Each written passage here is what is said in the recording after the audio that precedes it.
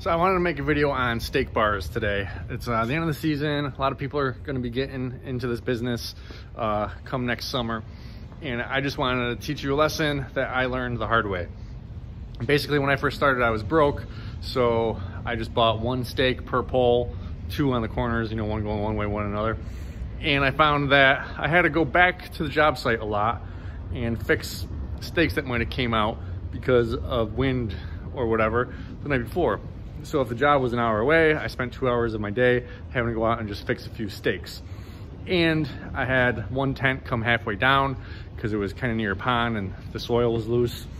And it was just always a, nightmare. If there was a rainstorm and windstorm, I'd be nervous all night long, just waiting for a phone call. Uh, so then I went up to using what they call double yoke ratchets, where it's got the one point the one ratchet that hooks to the tent. And at the bottom, it, ha had two holes for stakes. And life was a little bit better, but then uh, some things would still happen. So I just took the dive and went into stake bars. The thing that helped was I was at a auction for a tent company and I got like 30 stake bars for a dollar a piece.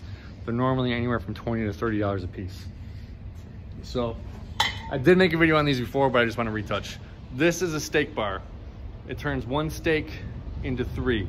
Once I started using these, I don't have any problems anymore. No stakes come loose, uh, no tents I have to go back to and drive to and fix. Uh, this one has three. This is good enough for most installs.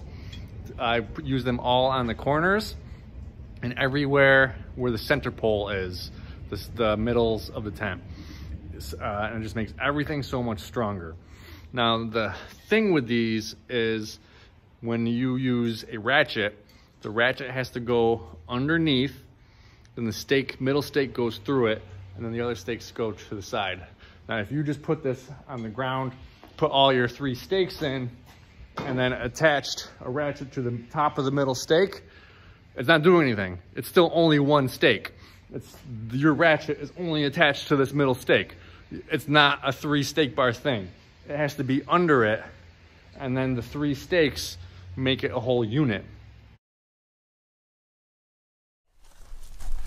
Uh, my name is Ethan. I work for Tent Guy there. So the stake bars, here you put the the ratchet underneath it so that if you pull them, it pulls all the stakes up and not just one. If you were to put it here on top, it would just pull the one stake and these would be pointless.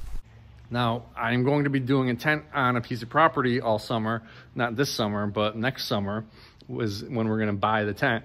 I'm gonna use those on every single pole, and on the corners, I'm gonna use the six stakes. Uh, and even maybe do three ratchets, like in this picture right here. But uh, there's many different styles. I've seen stake bars with two, which I don't really understand that.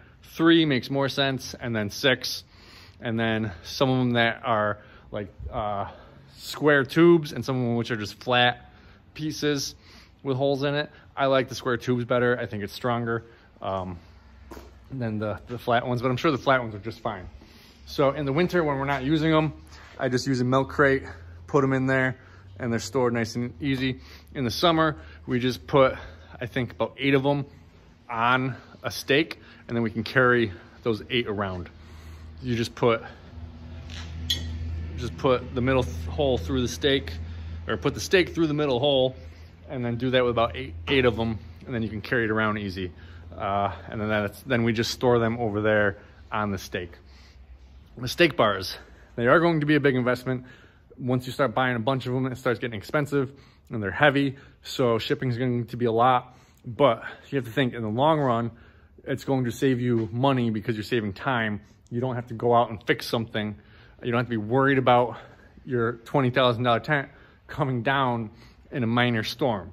Stake bars are the way to go if you can afford it. Go ahead and get stake bars. Thanks for watching.